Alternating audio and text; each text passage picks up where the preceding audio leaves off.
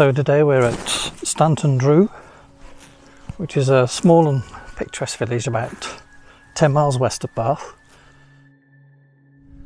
The circle dates from around 3000 BCE to 2000 BCE.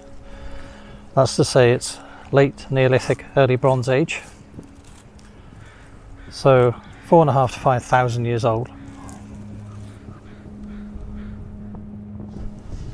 The field often has cattle in it. Mercifully, there's nothing today. I'm not a huge fan of mixing with cows. They can be a little bit hairy at times. It's a pretty windy day. I hope you can hear me okay. I've got the wind muff on.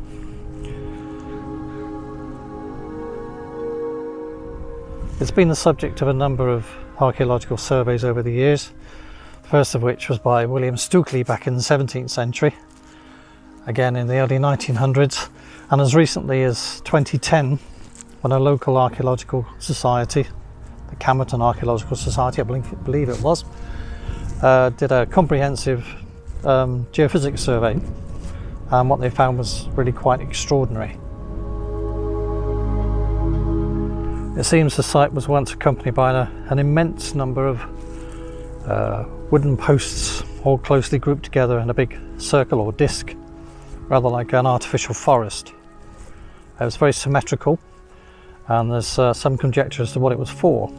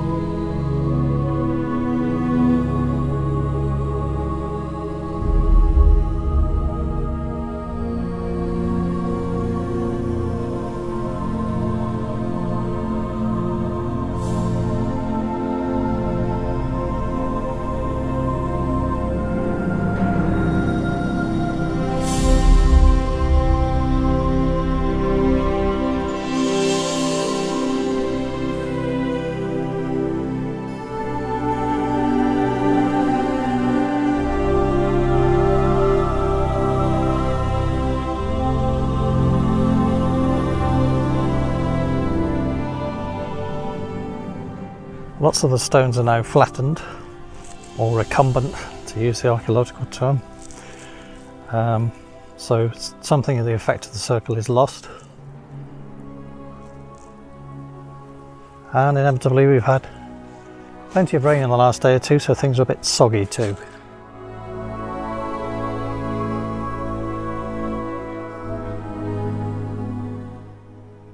The farmer's got a severe uh, mould problem here by the look of it. Everywhere you look, everywhere you step, it's Mole City.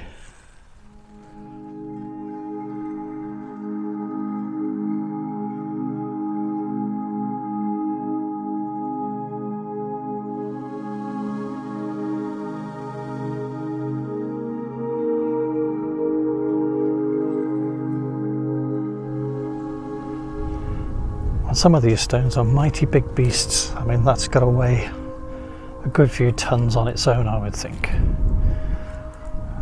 All of them covered in this wonderful lichen or lichen, whichever your preference is.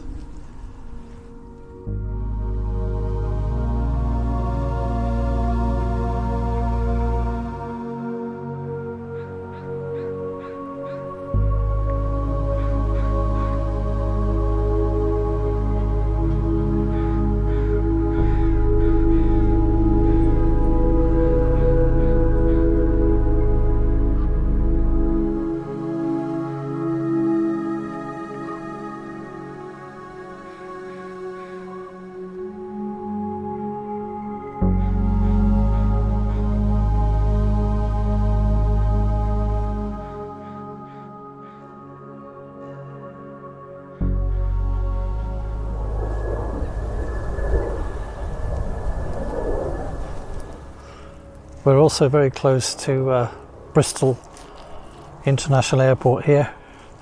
So I've got the, uh, the flight path or the approach just above me. So it's uh, not the quietest of places, and I think it's that time in the afternoon when uh, a great many flights come in.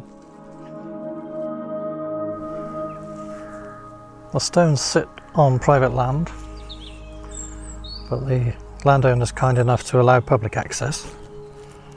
Uh, the only thing asks in return is a pound in the honesty box at the gate, and you're free to roam.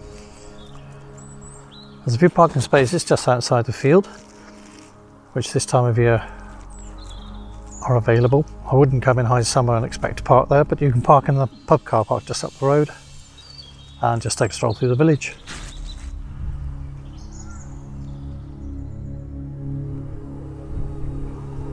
This local stone has a wonderful ruddy red element to it.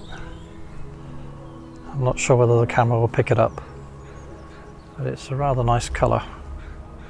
Very distinct from the stones just a few miles east over at Avebury and Stonehenge. The sarsen stones from the local Marlborough Downs and the blue stones from the Preseli Mountains of Wales. This is a very different kind of geology. A softer stone, I would imagine.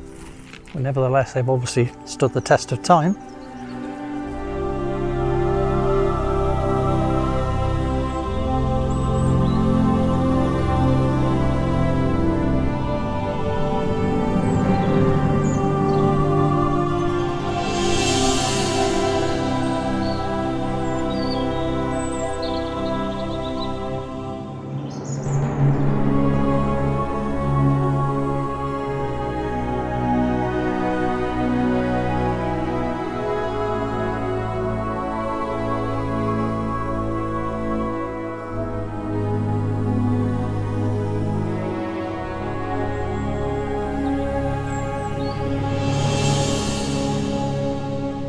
Three of the stones now sit in the uh, local pub garden, the Druid Arms, and those stones um, are considerably older than these. I say these date from around 3000 BC to 2000 BC. The ones in the pub garden, known as the Cove, date about a thousand years earlier than that, around 4000 BCE.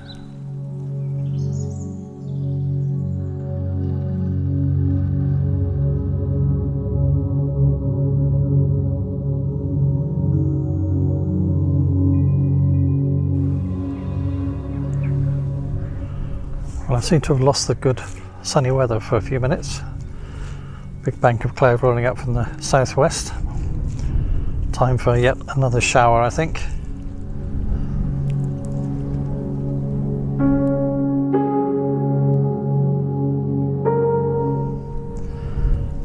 I'm very lucky.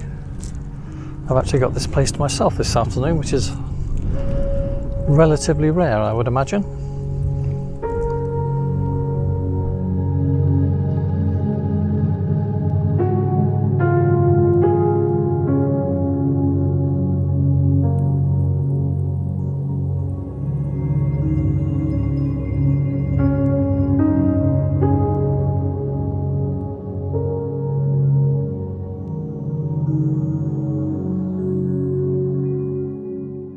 Sun's getting pretty low in the sky now and it's blowing an absolute hoolie. I think there's yet more rain on the way so I'm gonna make my way back now. Just one last look around the field.